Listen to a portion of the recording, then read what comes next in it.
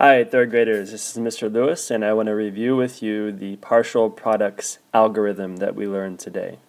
So here we have a problem of uh, 83 times 5, and the first thing we want to do is the tens place. So we need 5 80s. And if you know your multiplication, we know 5 times 8 is 40, and we can add the 0 to make it 400. Then next we have five threes, the one place.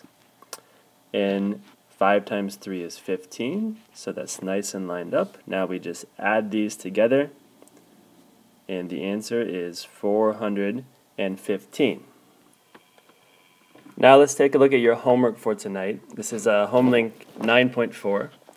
And the first one we have here is 31 times 3. So we start again with the tens place, and we will say 3 30s would give us 3 times 3 is 9, add the 0 is 90.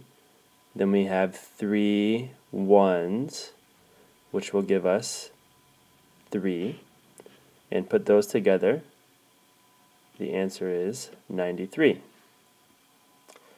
We'll do one more from this home link. Here's the number 2, um, 75 times 5.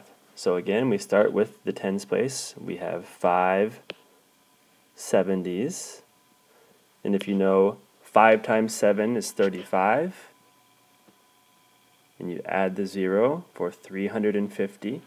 And now in the ones place we have 5 fives, which will give us 25. Make sure your tens place and ones place lines up. Then you simply add them together for your answer of 375. now see if you can do the rest of them uh, on your own and we'll check them tomorrow. Thanks.